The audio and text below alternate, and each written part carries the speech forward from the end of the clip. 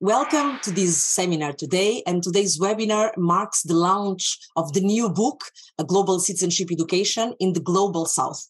We will have the pleasure to hear the editors, Emiliano Bosio and Yusef Waghid, and some of the book contribute and some of the book's contributors exploring the book's key themes and findings and address some important questions, like, for instance, how educators located in the global south perceive and implement global citizenship education i think it's a really interesting question and um, the, the, the interest in this book and in this event proves that that there is a, a huge interest in the in the academic field to know more about how global uh, south perceive and implement global citizenship education so, as said before, we will have the pleasure to hear Emiliano Bosio. He's one of the book editors and he's professor at Toyo University in Japan. We, we, we have we will have Yusef Waghid from uh, also book editor from uh, Stellenbosch University in South Africa. We will have Wiel Veugelers, from uh, series editor, is an emeritus professor at the University of Utrecht in the Netherlands. We have also the pleasure to have Manisha Shelat from India, a professor and chair of the Center for Development Management and Communication at MICA.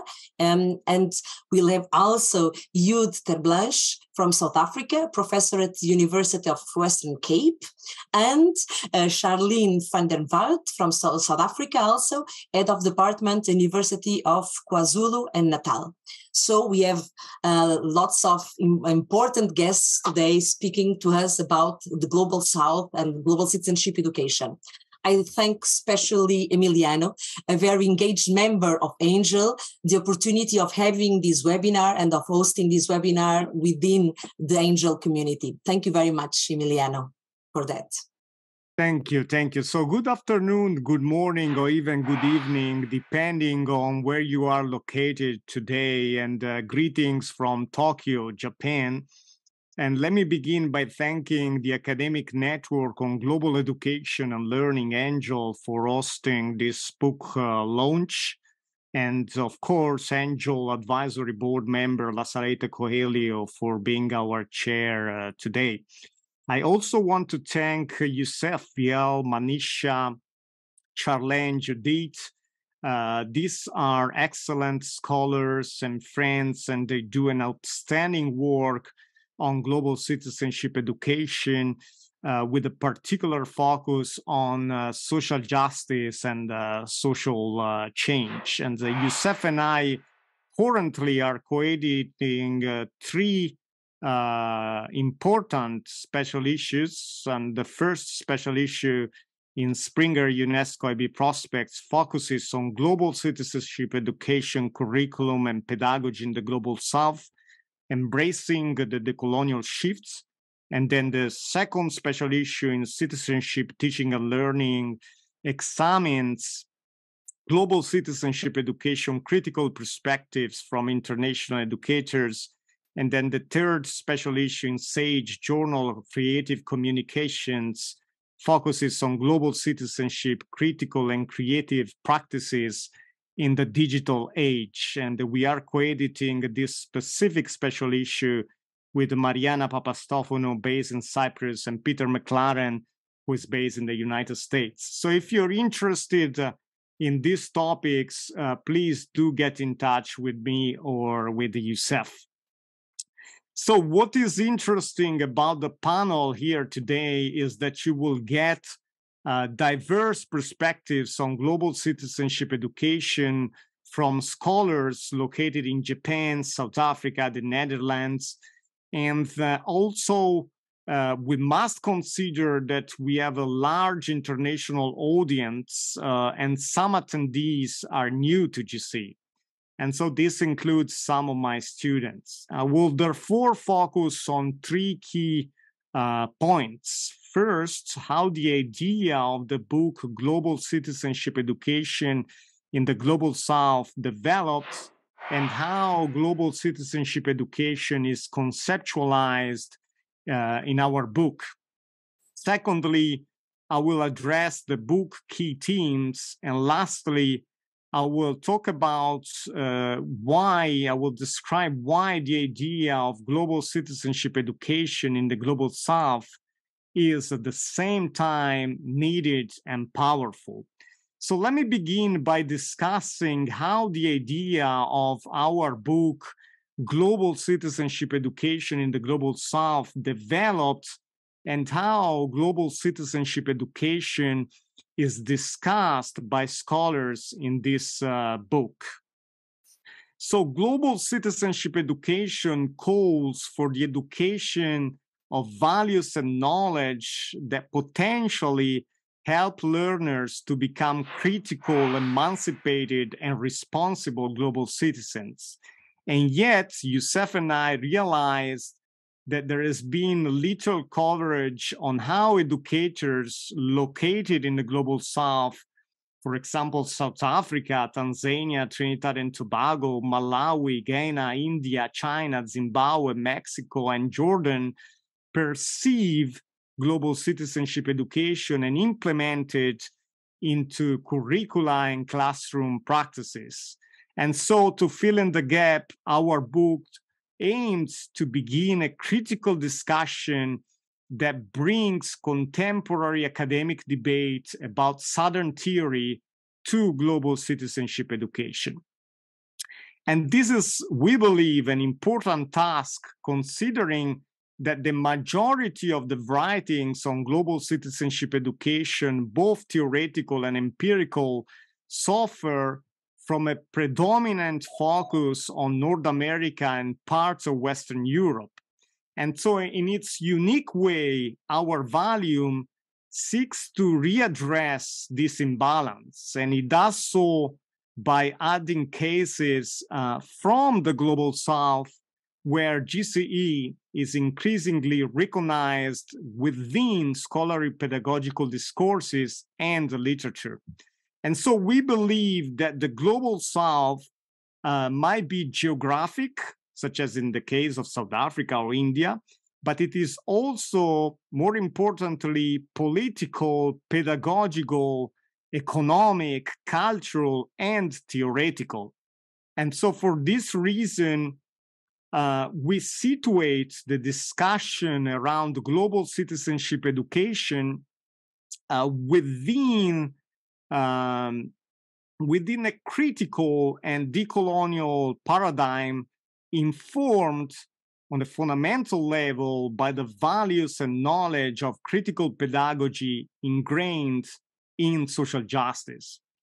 And so, a critical and decolonial global citizenship education approach, as the one we have chosen in this book, attempts to rectify injustice exploitation and inequality that is inflicted on former colonies through neocolonization. And so, in this view, our book is also an attempt to shift the dominant ways in which the relationships uh, between Western and non Western people are viewed. Overall, um, we approached this book as an opportunity to engage uh, critically with uh, global citizenship education and to gain insight on whether the notion of a global citizenship education uh, could represent a potential distinct pedagogical framework to reimagine uh, citizenship education in a more critical and ethical perspective, which has its foundation in critical, transformative, humanistic, and ethical theories. And so, global citizenship education, as discussed in our book and uh, my recent and less recent publications, is not an educational philosophy that exists for a global elite Rather, GCE, as discussed in our book, is a philosophical, ethical platform, a pedagogy of value oriented towards social justice that gives our students a meaningful way to examine our shared planet. And so, from these perspectives, uh, one uh, or some of the central orientations of global citizenship education are promoting social justice and a reduction of global and local inequality with the fundamental aim to assist learners, particularly those located in the global south, in reflecting critically on their opinions and to assist them in being part of the creation of a new future with its roots in social justice and sustainability. Let me now discuss the main themes and structure of the book. So, the book is divided into three main themes, with each theme having a number of chapters covering uh, diverse perspectives with international educators from a range of countries in the global south. And so the first theme is critical consciousness, decolonialism, caring ethics, eco-critical views, and humanity empowerment in global citizenship education. And this includes my chapter with Yusef, titled Global Citizenship Education for Critical Consciousness Development, as well as chapters written by Naeem Al-Husban, Said Efkar, Joel Kayombo, Miej Quinota, Liesl Frick, Kiran Greg, and uh, Manisha. The second theme is equality and diversity in global citizenship education, policy, and practice, and this includes chapters by Jonathan Felix, Simon Aiton, Yoman Hawad, Patricia Carvalhal, He Hong, and Judith and Charlene, who are with us uh, today and will speak later. And the third and last theme is defamiliarization, hukama, and active protest in global citizenship education. And this includes chapters by Zahid Waghid, Joseph Fungui, Taksani Batubula, Tiffany Banda and a concluded chapter uh, written by me and Yusef titled Democratic, Pluralistic Global Citizenship Education Embracing Educators' Voices from the Global South. And so, as you can tell, our book embraces a wide range of themes with diverse scholars located in the global south in the field of global citizenship education, but also inter- international comparative education and educational philosophy. I will conclude uh, by addressing a key question. And the question is why is our book, Global Citizenship Education in the Global South, at the same time needed and powerful? And I believe here that the answer is quite straightforward. This book is needed and powerful from three different perspectives, at least. First, while some previous studies have been devoted uh, to a critical analysis of global citizenship education, it is uncommon uh, for this literature to reflect or even embrace the voices of educators teaching global citizenship in the global south. There is also, we believe, an absence of discourse on the pedagogical and theoretical approaches to global citizenship at the local level. And here I like to stress the fact that when we're talking about global citizenship education, we are discussing both the local and the global. The two are fundamentally interconnected. The second point is that this book is the first to focus on a critical examination of global citizenship education by educators and researchers from the global south who possess a solid expertise in international studies and comparative education. Of course, we also have emerging scholars contributing to this book. And finally, this book serves as a roadmap to significant global citizenship educational experiences in the global south. And so, from this angle, we strongly believe that the perspectives presented in this book are aimed at three different groups educators who are focused, focused on putting the theoretical knowledge of global citizenship into practice in the classroom, researchers who have a specific interest in better understanding global citizenship, and general audience who has an interest in better understanding the philosophy, history, and practice of global citizenship education. And so, from this perspective, as Professor N'Dri Assié-Lumumba, president of the World Council of Comparative Education Societies, and Wiel, who is here with us today, suggested in their forewords to our book, the volume Global Citizenship Education in the Global South is powerful and needed because it encourages readers to acknowledge that GCE, Global Citizenship Education, has the potential to represent much more than a just fashionable synonym for international learning outcomes.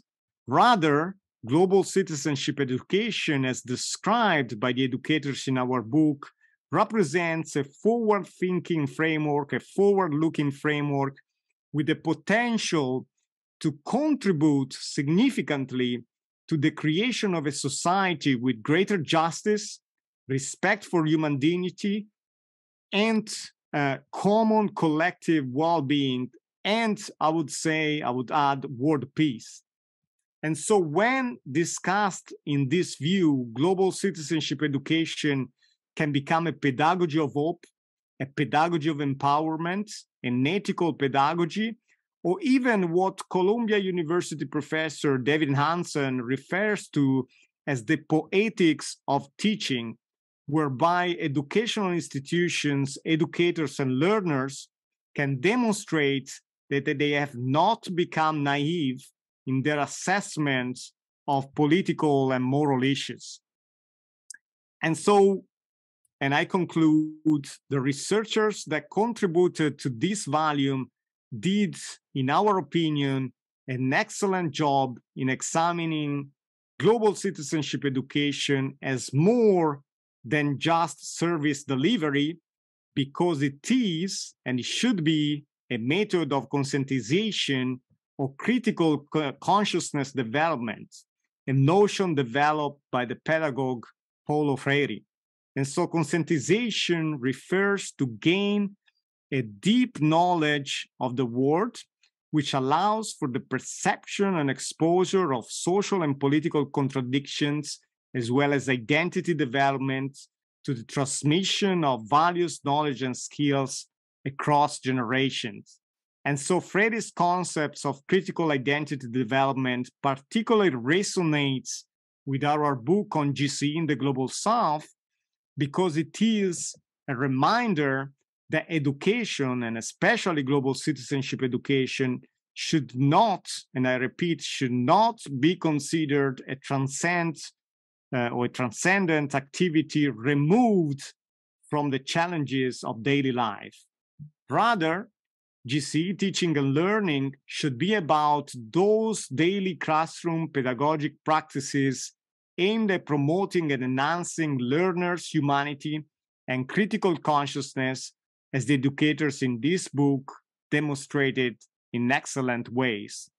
And let me conclude with the words of Nelson Mandela contained in his autobiography, Long Way to Freedom. Education is the great engine of personal development. It is through education that the daughter of a peasant can become a doctor, the son of a mine worker can become the head of the mine, and that the child of farm workers can become the president of a great nation. Thank you. Thank you very much, Emiliano for this powerful presentation. I am sure that you you transmitted you. you. you showed a lot to us the, the the power also of this book through your presentation. Thank you for that. So we move on after this presentation from Emiliano that presented the book structure, the main key, the key themes, and why the mission of this book is very important.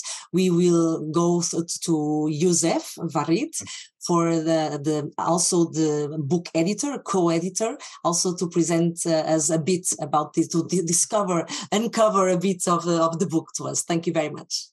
Thank you very much, La Salete, and uh, good afternoon, colleagues. It's um, 1422 in South Africa.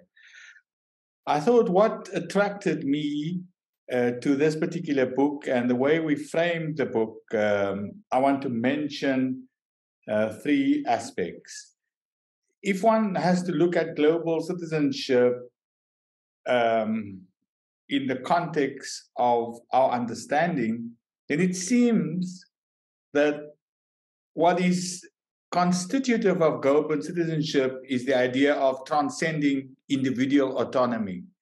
It is not simply what individuals do on their own, but more importantly, what individuals do with others. So I think it's a matter of transcending individual autonomy, recognizing that individuals can assert their voices, but that their voices will be more profound if those voices are connected with in relation to other voices. And often those other voices are not the same voices. It can be home or heterogeneous voices. But in the sense that I understand the framework of this book is that there's an interconnectedness between a, plu- a pluralistic voices. So it's recognizing that there are others in the world and that there are others that we connect with and that our own individual autonomies are not as important as our relational encounters with others. So that to me seems to be the uh, most uh, significant constitutive aspect of this particular understanding of global citizenship we encounter. The second aspect, I would imagine, derives from a theory of democratic politics. And the understanding is that global citizenship education, as Emiliano correctly articulated, is a form of critical and I would argue transcritical praxis. So it's not just a matter of humans interacting, but when they encounter one another, they also engage in processes of iteration. So here we talk about iteration as a form of articulation, speaking one's mind, listening to what the other has to say, and more importantly, creating the spaces for others to talk back.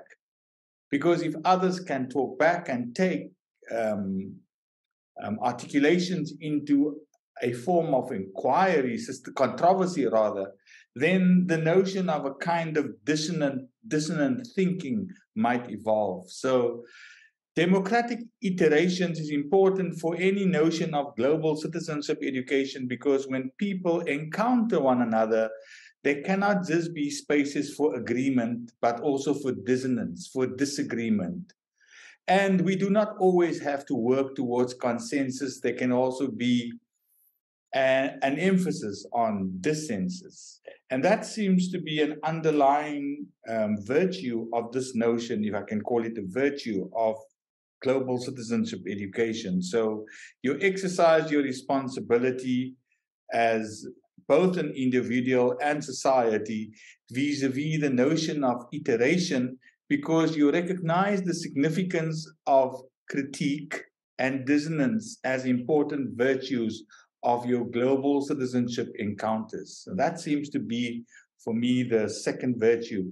The third one is that in, in the neo-Freirean sense, as Emiliano also articulated, is the notion that we cannot talk plausibly of any notion of global citizenship education if this kind of education does not result or lead you or provoke you to bring about a form of disruption in societies.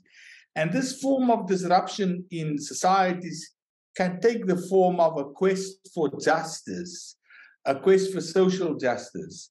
And in that sense, global uh, proponents of a global citizenship education we espouse are, in fact, intellectual, political, social activists. So they want to see a transformation of the world and events within the world. And if it deals with pedagogy, it's about transforming um, teaching and learning and management and leadership within the context of what it means to aspire towards matters that are socially just. So that seems to be the conceptual framework that underlies, underscores our notion. I have a very active kitten here who's performing, so just excuse him. So it seems to be um, a notion of global citizenship, edu- citizenship education constituted by a recognition of plurality of voices, a notion of citizenship education that is constituted by the presence and the enactment of um, democratic iterations, and of course, an aspiration and, an, and a cultivation of social justice in society. So when we, Naima uh, Husban from Jordan and I, looked at our particular chapter and our analysis of migration in our two societies, Jordan and South Africa, I don't see Naima here, so I will talk on her behalf. So when we looked at um, um, migration, the movement of people from one society to the other, and in particular in her country, uh, Syrians moving into the society of Jordan, and in in my case, Africans moving into the domain of, if I can call it, Southern Africa. Then what happened was we looked at those developments and then asked the question how would global citizenship education respond to the practice of migration? And we had one thing in mind, and that was we can never have migrate a form of migration whereby people are stealthily assimilated into a society.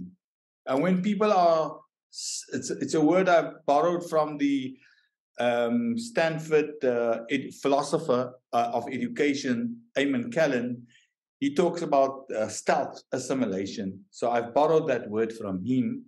When we talk about stealth assimilation, we talk about one community being integrated in another society, but without them knowing they are their values, their practices, their belief systems, their traditions are being assimilated and even undermined within the dominant hegemonic uh, notion of societal living.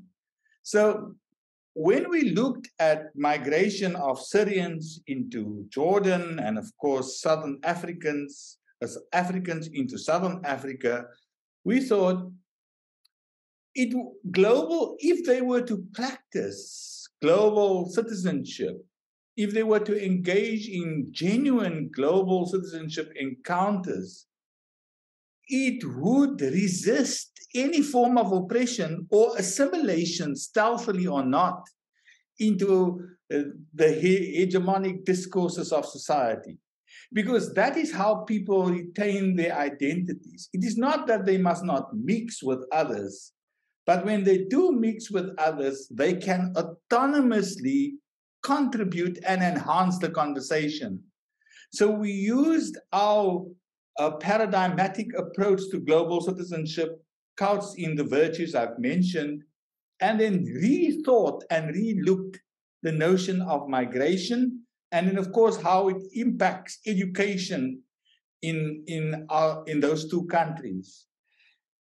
And our understanding is that when when we look at migration as a, a resistance to a form of stealth assimilation, then there will be more opportunities for humans, for people, for teachers, for learners, for students to engage more credibly in encounters than it would have been without uh, the virtues of global citizenship education we, we espoused throughout uh, the, the book. So we consider our own contribution as a manifestation of the global citizenship education in the South approach, where South often refers to the marginalized, to the excluded, and we kind of collapse virtues of global citizenship education into our understanding of education and other forms of human practices. Thank you. Thank you, Yusef. Thank you for bringing these virtues of global citizenship education, these polyphonic uh, uh, values and, and, and voices. Uh, thank you for bringing these and also for addressing this migration issue as an example of your contribution, because also in the in the chat, some questions already raised uh, have been raised about migration and migrants. So there is uh, certainly a topic that interests uh, a lot uh, at this moment. So thank you very much, Yusef, for this. And so we continue our our our presentations, and now we will have Wiel, an emeritus emeritus professor of education at the University of Humanistic Studies at Utrecht, Netherlands, and um, is here as the editor of Education for Democratic International Citizenship. So he is the the editor, the series editor. Thank you very much, Wiel, for being here with us. I'm very happy to be in this meeting. And I also want to congratulate Emiliano and Yusef, the editors of the book, and also all authors of the, of the book with this great, interesting, and important book. I read the draft uh, text of the book, and it's, it's very, very interesting. And it shows many different aspects of global citizenship education and many contributions from different part of the world. I think it's an excellent book. So I'm very happy that this book has been published now, and that's part of our book series. So the book series uh, we have at Brill um, is called Moral Development and Citizenship Education, and this is volume 21. And in our series, we really want to connect moral education and citizenship education because we think, then I'm paraphrasing Paulo Freire, the moral should be more political and the political should be more moral. I think this book really fits well in our book series. And we had already a, a book about Latin citizenship education in Latin America, edited by, uh, by uh, Benilde Cabrero Garcia. And we also in different books, we had contributions from, from India, from Israel, from South Africa. And uh, so we had already some voices of the, the, global south, but it's very good now to have a real one book about with, with a global south perspective. So I'm also speaking on, on behalf of my co-editor, um, Kirsi, Professor Kirsi Tirri of the University of Helsinki, and our editorial board, so that we are very happy with this book in uh, our series. I want to speak a little bit more about citizenship education and about the book. And several articles have been writing about the change that has been taking place in the concept of citizenship. Originally, it was only on the political level. Nowadays, citizenship, the concept of citizenship, is used in, in theory, in, in, in policy, and also in practice also on the level of the social and how people relate to each other, and also on the cultural level. What are important uh, aspects, important books, important ideas uh, uh, that, that should be stressed in citizenship education? So the, so the concept of citizenship has been deepened from the political to the social and the cultural uh, uh, uh, level. But also, the, the concept has been uh, uh, uh, broadened. Originally, the concept was only the, uh, related to the national situation, the, the, national citizenship. Nowadays, you also have a regional citizenship, for example, European citizenship related to the European Union. But also, nowadays, people speak about global citizenship education. So, the concept of citizenship and citizenship education had changed a lot the past decades. And this book is also a very good example in both the way the concept has been broadened into global citizenship and also how it has been deepened to the social and cultural level. Going to the concept of, globali- of global, and then in particular the concept of globalization, I think the concept of globalization is a neutral term. It's about connecting people, connecting different parts of the world. And it is the ideology that embedded it in it that shows how how a global, global uh, globalization takes a, certain uh, a certain appearance, a certain certain uh, view. For example, you have a, neoliberal market-oriented uh, conception of globalization, but also you have more the moral ideas about global globalization and global citizenship from Nussbaum and Sen about human rights. But also you can have you can have an, uh, more social justice oriented ideas of global citizenship education, and that's more the direction that this book is going. And I think that's very important. It's, and it's very important that in, in, in, in academic work, work, people use different perspectives and are aware of different perspectives. So, so not so we shouldn't use concepts like global citizenship education too general and too easily. We really should analyze what's the ideology that is embedded in it. Going on with thinking about ideology and, and about the book, I really like the work of Joel Spring. He has a very interesting book in 2004, How Education Ideology Are Shaping Global Society. And he distinguished at that time four, four ideologies. And the first one is, uh, is a, a market-oriented. Um, the first one is a nationalist uh, education. That's about building a society, building a nation. It's about the, the own history of the country. The second ideology is schooling uh, workers for a global free market. It's more the economic oriented uh, ideology, in particular emphasized by the World Bank and IMF. And the third ideology is distinguished. He calls it globalizing morality with human rights education.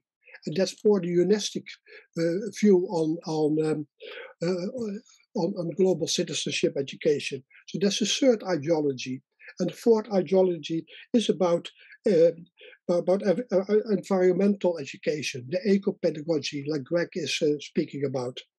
So these four ideologies Spring distinguish.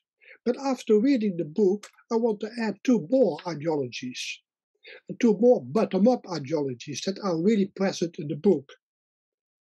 The first two of, of, of, of ideology of, of, of uh, uh, uh, of Spring, the nationalist ideology and the market and, and the market uh, ideology, they are top down. The globalizing morality with human rights education and also the environmental education, they, you could say they are more horizontal. But, but in this book, we really can see two ideologies that are also at work in global citizenship education they are more bottom up. the first one is about social justice and about combating inequality. There's a real strong voice in the book, the social justice approach and combating inequality. And the second one is strengthening local communities and traditions. So, like Yusef also was saying, that we should we should combine the local and the global. So the local is very important uh, and, and, we should think about that and also as a kind of ideology. So people people need, and then I can use the the, the, the term of uh, of Putnam on bonding the work that people really need some local connection. And global citizenship uh, should combine all these different perspectives, but in particular the bottom-up perspectives that are so so shown show so so that are have been showing so strongly in the book chapters. So the focus on social justice and the focus so focusing on the local community. So I'm very happy with this book. I think it's a very good contribution to our book series, and and and I also will encourage Brill to pay a lot of attention to the book on different conferences, and uh, and again I want to thank Emiliano and Yusef for for bringing it together and coming to our series, and uh, I really enjoyed this meeting also, and congratulations again to all of you. Thank you. Thank you, Wiel. It was a pleasure to hear this to, to this highlight of the importance of the book in the series and the, in the in the editor. So thank you very much for that, and also thank you for you know for uh, help us uh, to think about ideologies. Sometimes is a condemned wor- uh, word. so thank you for you know bringing this this word in, into life and also to reimagine new ide- ideologies through this book. So thank you very much for for adding this to this discussion this afternoon. Thank you very much. Thank you. Um, and we move to Manisha, Manisha Shelat from India. Uh, she's, as I said before, professor and chair of the Center for Development Management and Communication at MICA. So, Manisha, thank you very much for being here. Thank you. I would begin with congratulations to Dr. Bosio, Dr. Waghid, and all the authors on publication of this excellent volume. My co-author Kiran Bhatia and I are really delighted to be part of this project because normally, you know, Global South is lumped as one chapter, you know, or maybe a couple of paragraphs as a token acknowledgement in the so-called global endeavors as if it were a monolith. This volume promises to bring out nuances and specific contexts, you know, of various countries and cultures in the global south. And so we really think that this is a much needed step. So congratulations once again. Kiran and I have contributed a chapter on geopolitical epistemes in global citizenship education, a post-colonial approach in this book. So, in this chapter, we offer a post colonial framework for global citizenship education, drawing from our work in India, a very long term ethnographic work in Indian cities, as well as uh, some of the rural areas, and also drawing, you know, from work from other scholars in the field. So, what we intend to offer is a proposition that global citizenship education especially involving countries of the global south, must acknowledge how the history of colonial trauma influences the quotidian forms of meaning making and also practice. We believe that though our work is primarily based in India, the chapter will be of relevance to other parts of the world also because of the analysis and the future directions that we offer in this chapter. So, first, we challenge the dominant epistemologies grounded in Eurocentrism. We discuss epistemic violence that deals with questions of the influence of colonialism over knowledge production. That is, processes through which we privilege some voices. You know how some voices and stories are valued, while some others are ignored or silenced these processes, and this is a very important point that we think that these processes can also be witnessed in the South South relationship and also within the countries of global South. So here we use the term colonial in a very broad sense. Second, in this chapter, we challenge some of the popular assumptions that we carry. So, for example, the assumption that countries have a common history or the assumption that the past can be left behind and does not influence our present and future.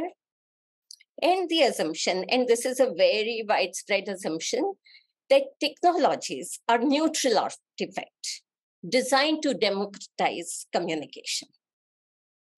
So while we were working with our students, we also observed that our students also carry certain assumptions.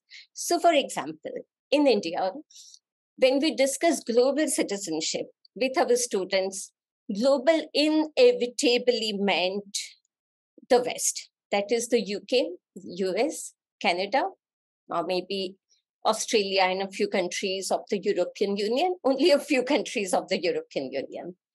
And it was something aspirational and desirable. So for them, global was a position to be acquired rather than a site for equal participation. So, when we want to challenge these popular assumptions about our understanding of the global, it requires developing a critical framework to engage with questions of how power hierarchies, histories of violence and domination, and geopolitical relation of modernity are important for understanding global citizenship. We understand that there is a vast scholarship in the field but we also found that very few studies highlight ways in which a post colonial approach can be used to revise our engagement with global citizenship education. And we have begun with that in this chapter. This is the second offering of the chapter. And since the book is presented as a pedagogical tool, right, for discussion and critical reflection, I think this framework is of spatial relevance to the readers of the book. So, while developing this framework, we emphasize the importance of asking certain questions. Like how do we learn about our place in the world, engage with differences, as uh, Professor Waghid rightly pointed out, create a shared sense of justice without invisibilizing the distinct pasts and present, and translate these theories and experiences for our younger generations. How do we teach and practice the core values of global citizenship education when countries or groups of people have the burden of a long history of animosity? They have bitter memories associated with each other and lot of unresolved grievances and i think this is the biggest challenge in front of us as educators but at the same time we as global citizenship educators or scholars also you know we have the, our eyes have to be really set on the peace equity and justice however utopian this may sound. Mm-hmm. And you know as a shared global vision and so we don't want to lose ourselves or get bogged down by the weight of histories and conflicts so our mission has to be still something futuristic positive and hopeful so to translate this framework into practice uh, in this chapter we have suggested three core actions uh, uh, with suggestions on how to carry them out with our students either in the classrooms or even in the non-formal settings. So our first uh, suggestion for action is helping students to challenge the dominant epistemologies through immersion in their local cultures and contexts, not in an abstract way. So this has to be a really immersive exercise with students. Second, discussing the geographical and generational histories and their association with contemporary lived realities. So, this is the part we call critical and reflexive remembering. You know, that we have to acknowledge what happened in the past and how it is influencing the way see, we see people, the way, way we see the world, other countries. And the third, and this is, I think, the most important and unique dimension of our framework, and that is conscious forgetting conscious forgetting of the history of strained interrelations while finding new and more effective ways of healing the wounds and the memory. The memory of the trauma, you know, that people have experienced through various forms of colonization. So, in essence, we say that how do we remember the event and forget the effect? Hmm? This has been our major challenge the affect, the pain and hatred, and we build bridges consciously and collectively across local and national boundaries in the global realm. So we very strongly feel that we don't want our student to associate global associate uh, global citizenship education with only anger and guilt we want them to move forward and that's why conscious forgetting is a very important dimension of our framework so, as pointed out, this book is designed with the intent to contribute towards a possibility of imagining a yet to come critical, transformative, and post colonial global citizenship education curriculum beyond the westernized market oriented uh, and up political practices. And we're looking towards a more sustainable paradigm based on principles of mutuality and reciprocity. And this is why we believe that our post colonial framework contributes to this larger mission of the book. So, Kiran and I sincerely believe that the book will receive an enthusiastic response from all over the world, not only from Global South. And that is what we are really looking forward to. And uh, I congratulate again all the authors and Dr. Bosio and Dr. Waghid for this excellent endeavor. Thank you. And thank you all for being here and uh, listening to my views. And we sincerely want to refine this framework forward. So, all your feedback is very welcome. Thank you. Thank you. Mm-hmm. Thank you, Manisha. Thank you for bringing this colonial past, these power hierarchies that still uh, having reflections today uh, in our in our daily life. So thank you for bringing these also for bringing these epistemicides that are happening all the time all over the world. So thank you for bringing also this reflection about uh, the, the, epistemological um, point uh, of, of global citizenship education, and also for the pedagogical tools that you that you that you propose to us to address these profound challenges that you that you face in your in your classroom. Thank you very much for this. Um, I think everyone is now thinking about you know eager to read the, the, the chapters that you are that you are uh, presenting to us. So thank you very much for this sharing. Now. Judith, now it's your it's your turn. So Judith is a professor at University of Western Cape in South Africa. So thank you, Judith, for being here. Uh, thank you, thank you very much. Um, I, I, I, must say that um, Charlene is is actually going to lead uh, the conversation. Um, so, Charlene, over to you, and I'll I'll, I'll chip in um, where appropriate. Well, colleagues, thank you for the opportunity to share something of our ongoing and creative conversation with you. You can already see in this uh, call, this is the nature of our uh, working together. Um, Judith and I have known each other since we were first years at university. And since then, we have basically agreed on nothing. Um, and that is the heart of our collaboration. We, we disagree about everything, and yet Emiliano and Yusef have found a way to bring us together to think about something that's really important to both of us. And, and I think our contribution fits very much into the frame of, of a social justice contribution we we are both passionate about teaching for change. And and i think uh, what we have found in this community and in this collaboration has really been a creative space for us to to think about what we do how we do it and to keep on asking each other uh, critical questions. Um, so thank you uh, firstly for including us and for allowing us to to keep on um, having this creative conversation with each other. So, the context of our contribution to the book um, is the pervasive and, and terrifying reality of gender based violence in the South African uh, context. The contribution draws on work that um, we have implemented at the University of KwaZulu Natal, working with faith leaders.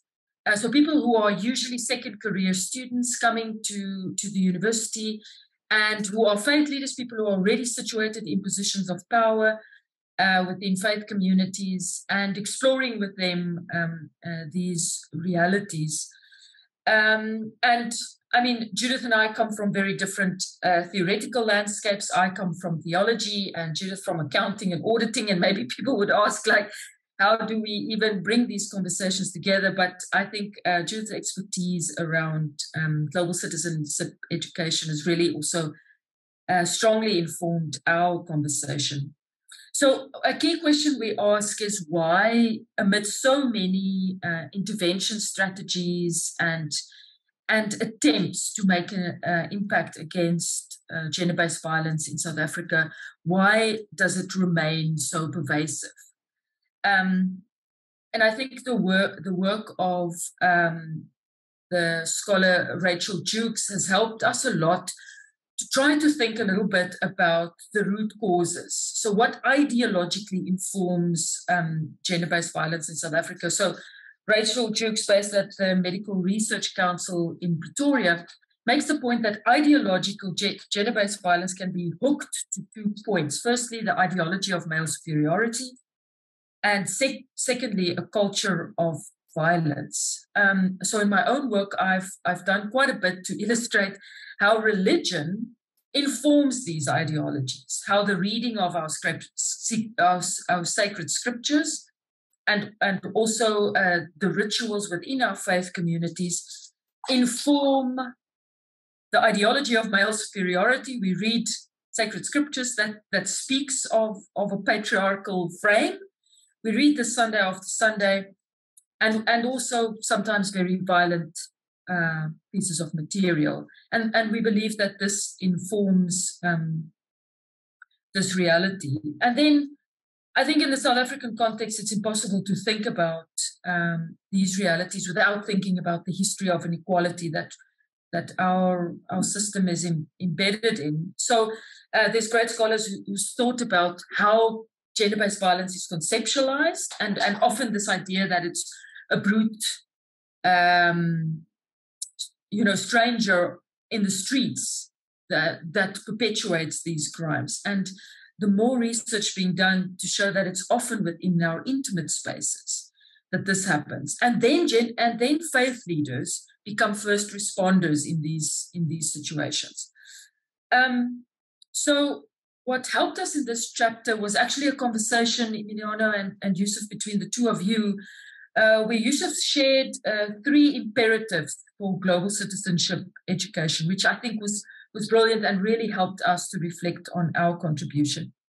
Uh, the first was to create discomfort with deliberative pedagogical interventions, so to, so to disturb, to disrupt through our pedagogy. Secondly, and really important when engaging faith leaders, was creating an awareness of belonging to a community and the responsibility that that holds. And thirdly, uh, becoming responsive uh, for social justice interventions. And we thought these three points really helped us to think about what are we busy with uh, when, when engaging faith leaders through our pedagogy uh, in doing this work. So then in the second part of our contribution, we delve a little bit deeper into the module that uh, that we constructed to engage faith leaders around this. Uh, it's a module that that's actually supposed to do more around biblical hermeneutics, so the process of understanding biblical text, biblical hermeneutics, women and gender, and we reappropriated uh, this module uh, to still think about biblical hermeneutics, faith leadership uh, within the South African context, but then thematically uh, shaping it very strongly around uh, gender-based violence. So it's a 12-week uh, rollout. It's online, and and we draw on a survivor-centered approach. Uh, and creating discomfort for greater awareness of positionality and the possibility for impact.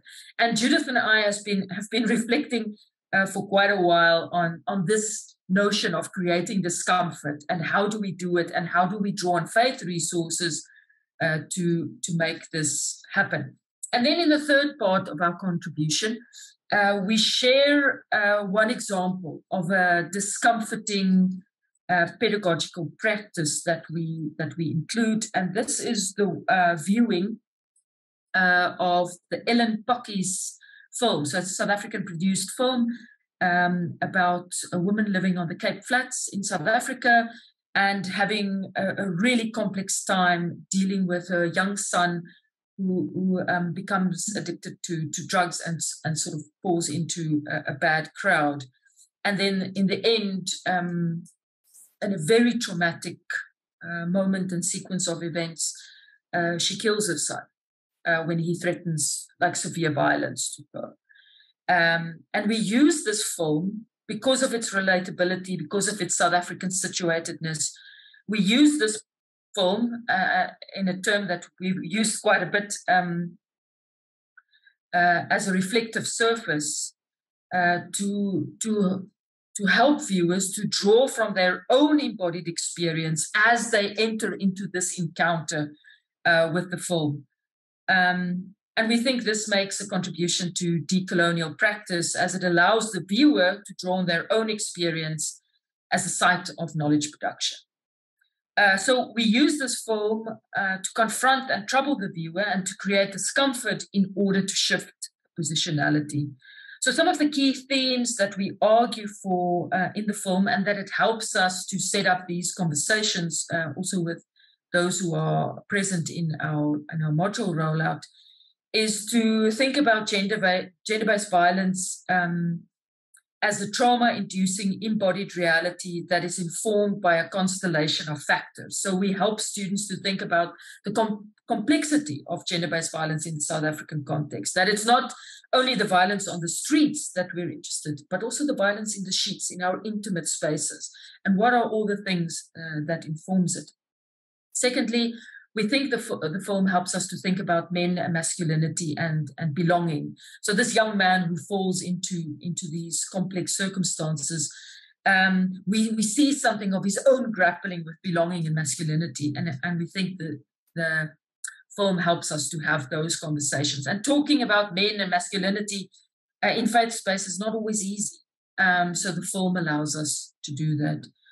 Uh, thirdly, and this is probably the most confronting for students with within this program, is we we show through the film how faith practices and theological beliefs are, are sometimes some of the foundational things informing gender-based violence. And this is a very hard thing students to grapple with, right? Because they're leaders of faith, they believe in this tradition, and then it's hard to look critically at some of the foundational theological beliefs that students hold.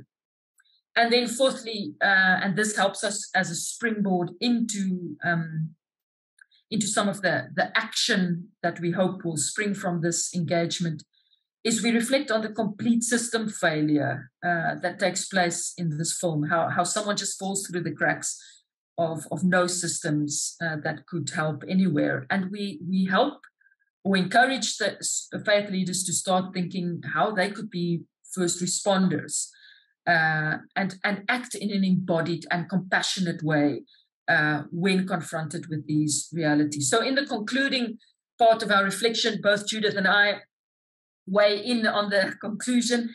And, and I share some thoughts around faith, how faith leaders should be capacitated to be first responders and a community of care for those uh, affected by gender based violence.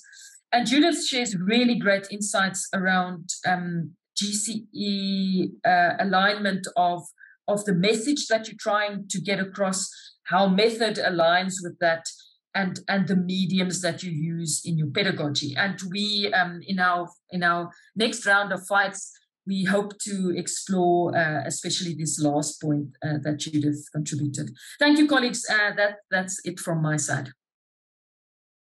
Thank you very much, Charlene and Judith. It was really, really interesting to see uh, Yusef before has spoken about virtue, this virtue of GC, of, of agreement and disagreement, consensus, dissensus. So you are a practical example of what. Exactly. we never thought we'd be poster children for anything, but there you go. yes, you are. You are practicing one of the virtues of GC, one of many, uh, for sure, for, for what I've heard. So, and thank you for bringing this. Thank you for bringing these reflection about the structure of violence, you know, around gender, religion, um, this discourse about peace and violence. Thank you for, for these. And that, thank you for also bringing these discomfort practices as a means of, you know, uh, um, um, um, of starting as an ignition point for reflecting and critical approaches. Thank you very much. And also this this bit, this last bit when you you spoke about a bit about coherence between you know when you are speaking about GC, uh, this coherence of contents, of means, of uh, methodologies. So thank you also for bringing this into the discussion. Thank you very much. Uh, and now we are going to the final speaker, uh, the Greg, Greg William Misiaszek.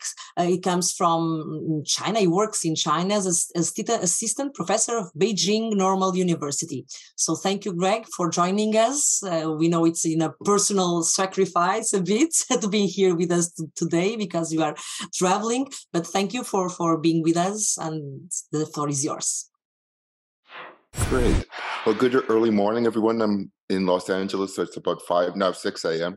I'm actually in Carlos Alberto Torres' house, who was the UNESCO chair of global learning and global citizenship education. So uh, I'm inspired by his library.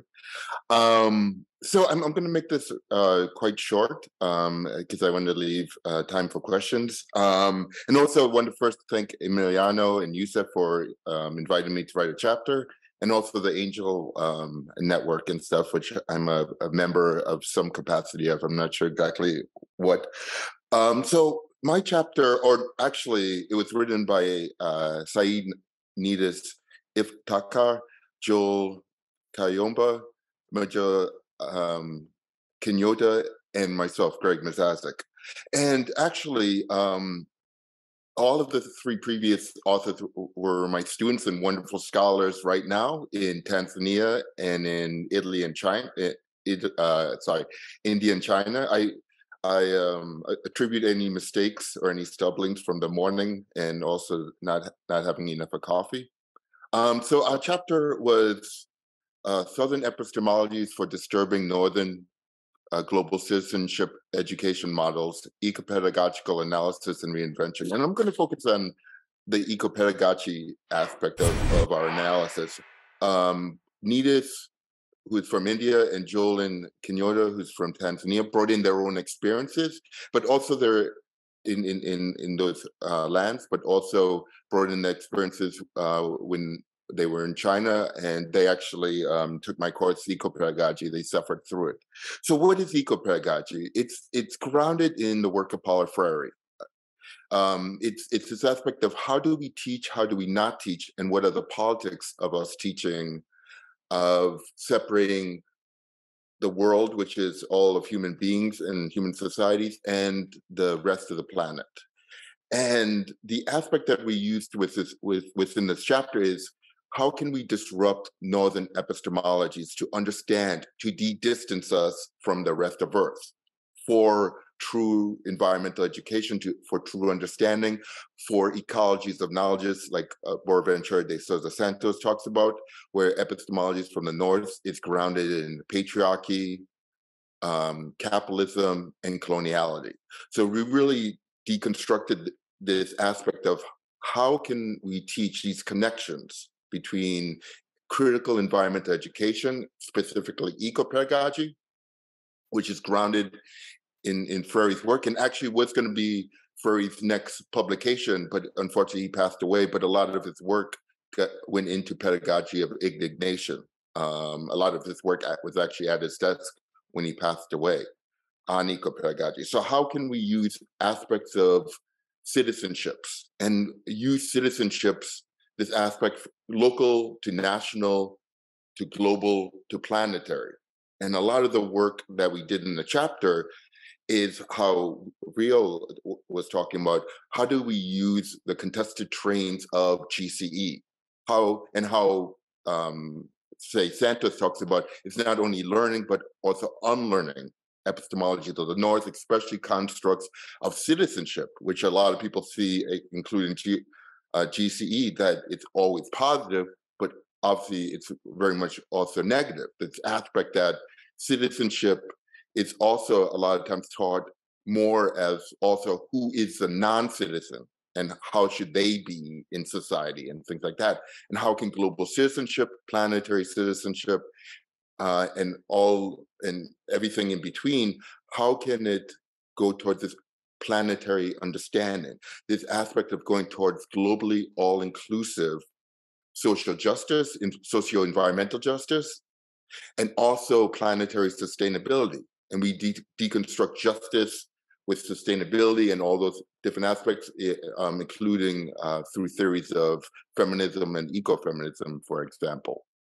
So the, the aspect that we argue is that the need for ecologies of knowledges, these aspects of if we are truly going to understand to be a member of the global community as as a citizen or even more so as a planetary as- aspect as a planetary citizen how can how can we de-distance ourselves on using models of citizenship? And how is southern theory and how is epistemologies of the south crucially needed and we use the work from Raewyn uh, Connell, uh, from uh, N'Dri, especially her um, her address for the comparative for CIS, uh, Comparative and International Education Society, where she questions the use, the need of Ubuntu, for example, in comparative education or in comparative studies overall, questioning, asking what is the epistemologies, the units of measure that we use, and how is that a lot of times grounded in northern epistemologies.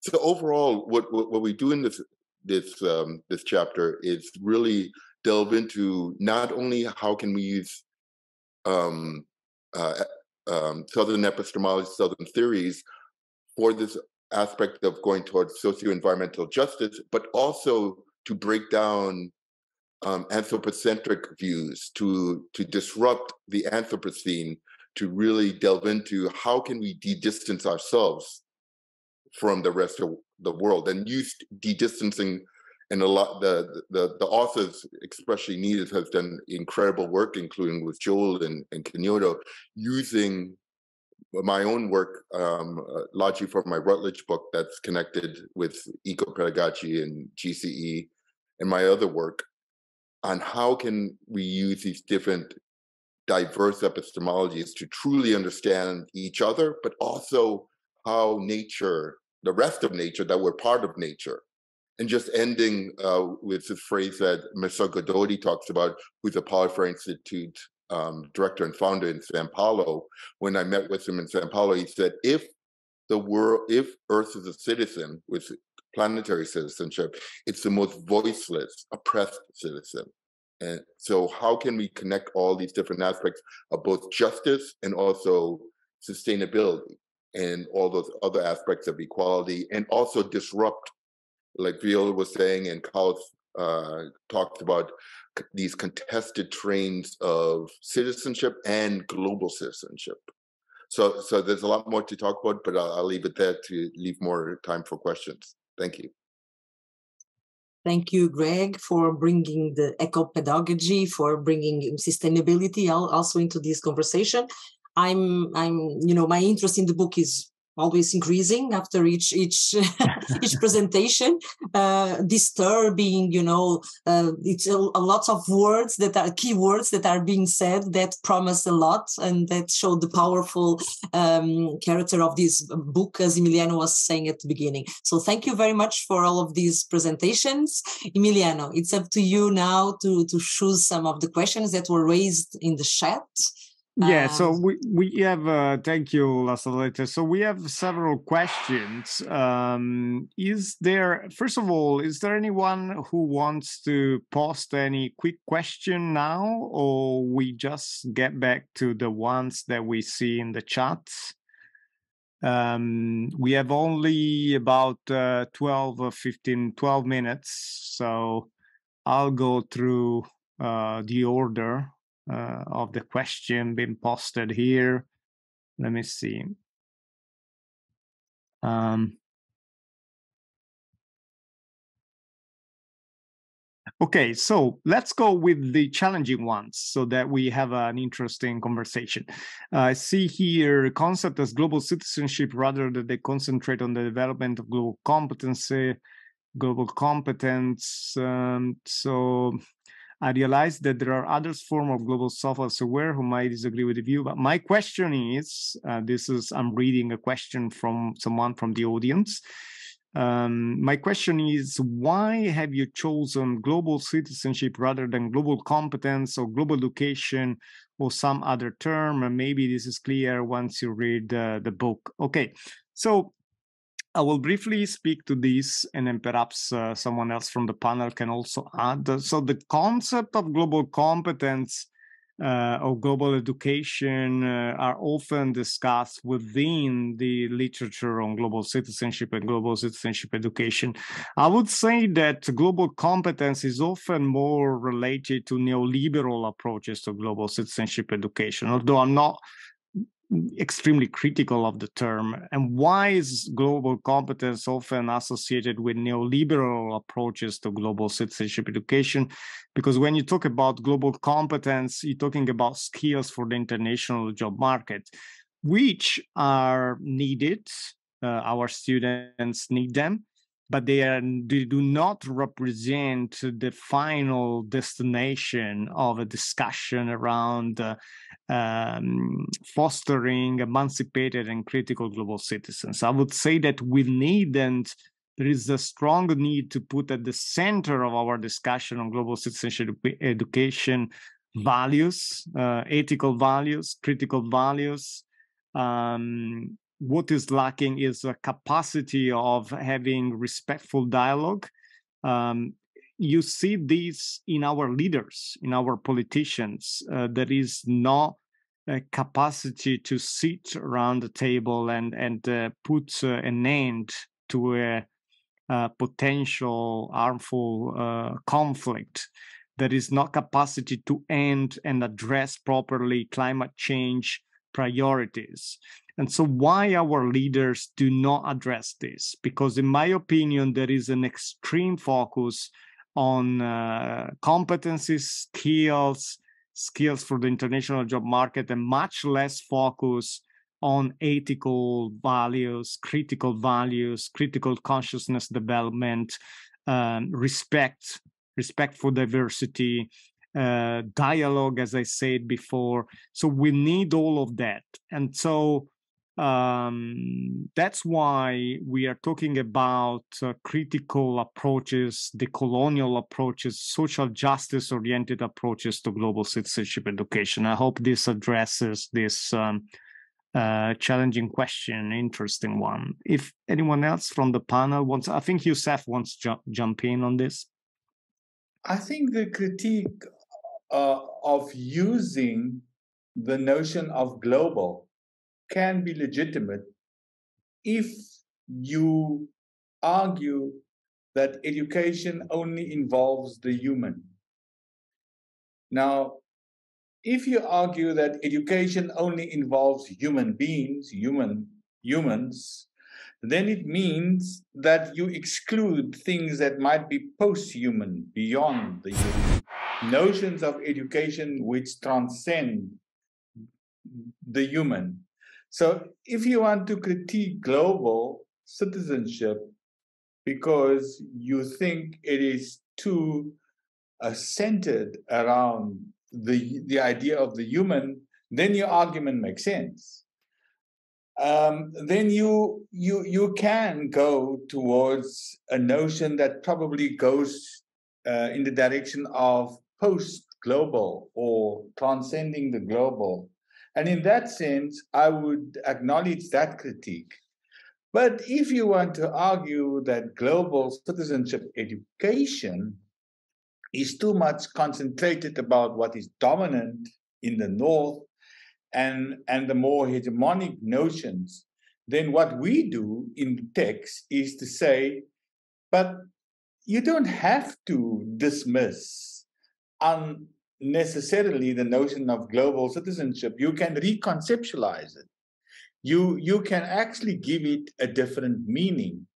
And what we have done is we have tried to reconceptualize the notion of global citizenship education.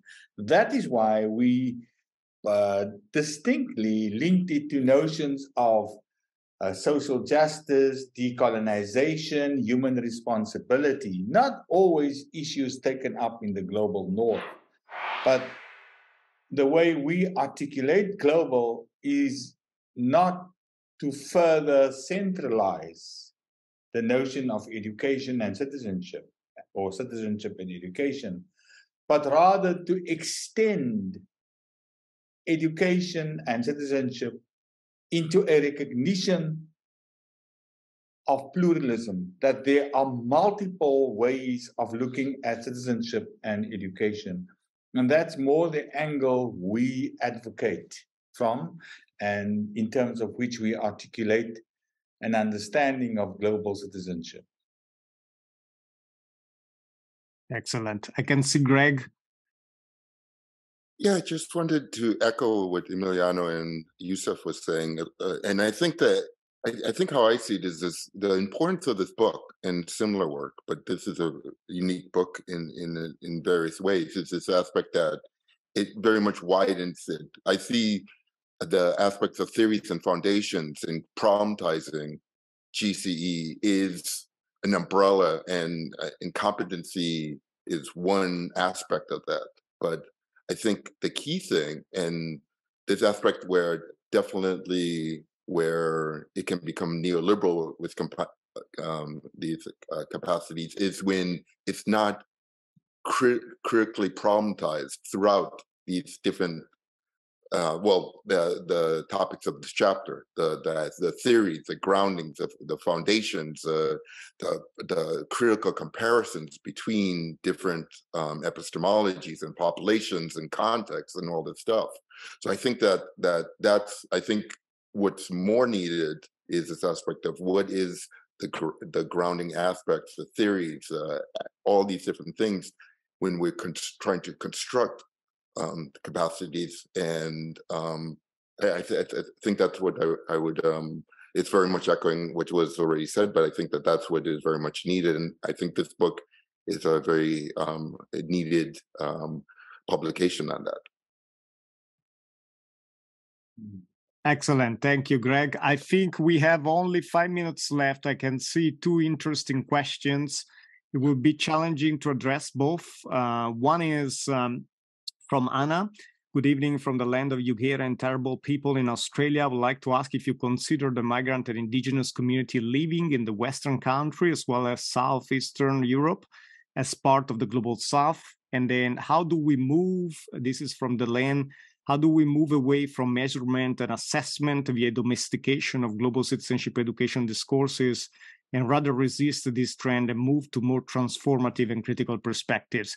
So, who wants to address the first question from Anna? Uh, anyone from the panel, particularly?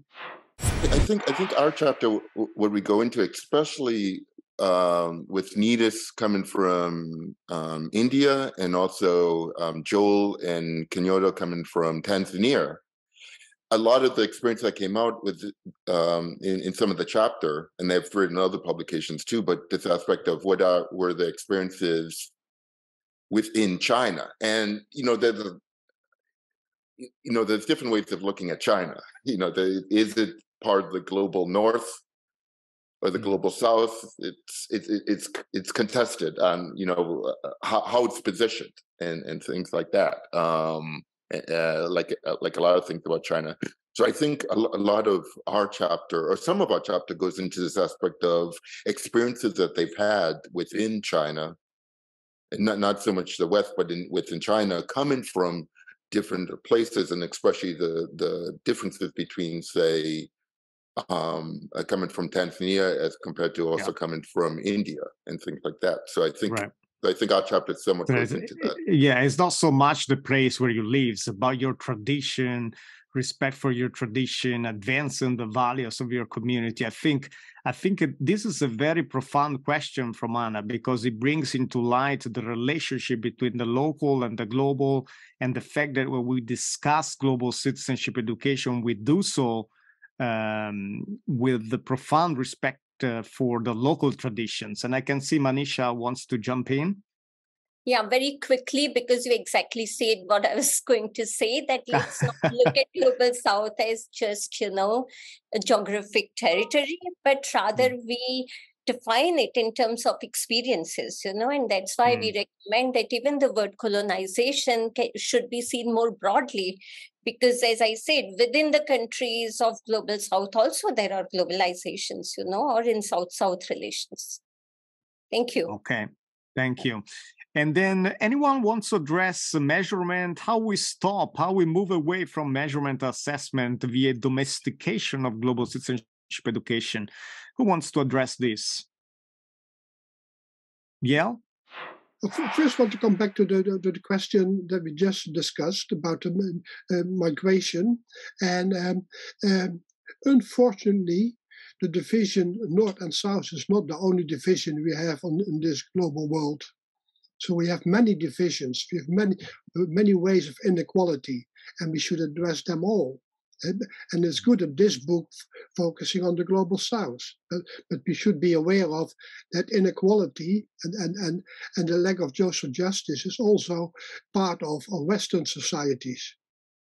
And, and is particular mm. striking in the relationship with, uh, with migrants. So. Mm. Uh, coming back to the, the to the uh, measurement uh, question, um, I'm not fully against measurements, but we should take take care of that that the measurement is not only dominating the, the, the debates and the, and the educational practices. So uh, mm.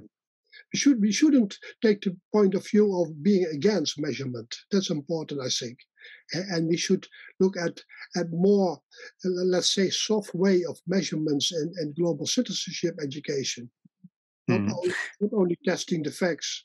Yeah, the challenge is, I think, to to look into values based uh, measurement and assessment more holistically and less, uh, strictly speaking, related to measuring uh, skills uh, for the international job market. Okay, so I want to thank Angel. I want to thank uh, La Salete Coelho for chairing this uh, book launch. I also want to thank very much all the speakers, Greg, Yusef, Manisha, Charlene, Wiel, uh, everyone who joined the meeting and uh, all the audience with very interesting questions. We really appreciate all the input. Thank you so much. La Salete, perhaps you want mm-hmm. to close uh, with some yeah. words? My uh, two final words. Well, first one is to to thank uh, everyone that was present here, to thank Emiliano and Joseph for for um, uh, launching the, this this book with us here in this event. So uh, thank you for all the, co- the, contributions that were made here. In in my personal name and in, on behalf of, of Angel, I really appreciate the, this this uh, this event. Thank you very much for that.